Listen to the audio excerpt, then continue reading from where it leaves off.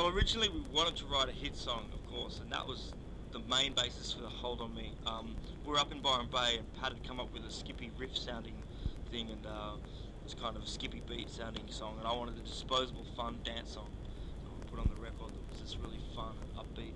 So we um, put it together, and I called it Show Pony, and off to Los Angeles we went to record it. Um, we get there, and our, obviously our, our producer had never heard of a Show Pony, so he made me change it to Hold on Me hence the song was born.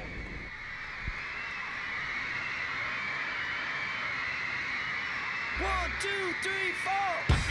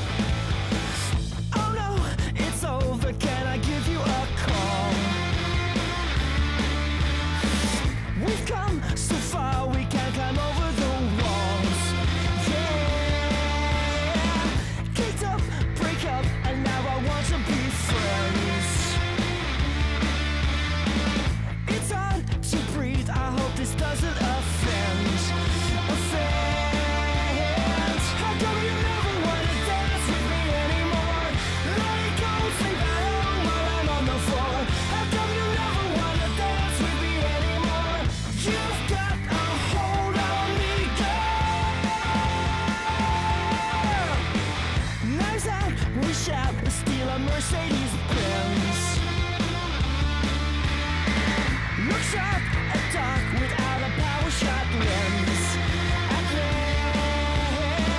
Can I come round and have a look in your eyes?